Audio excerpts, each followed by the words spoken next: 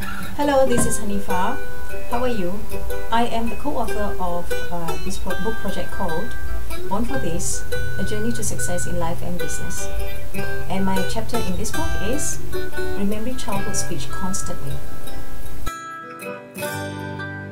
why do I choose to be in this project is uh, basically it helps me to tell a message of how I discover my inner voice when I lost a very important person in uh, my life.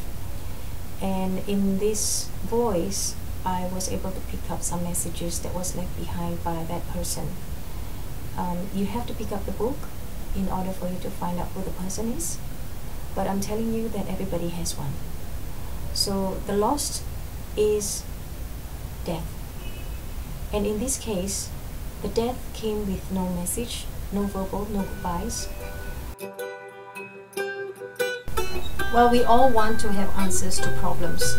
And when it comes to a personal problem, sometimes it takes an answer that can happen, that can come to you in different form or uh, in terms of a person or friend or even an answer on a, a particular book.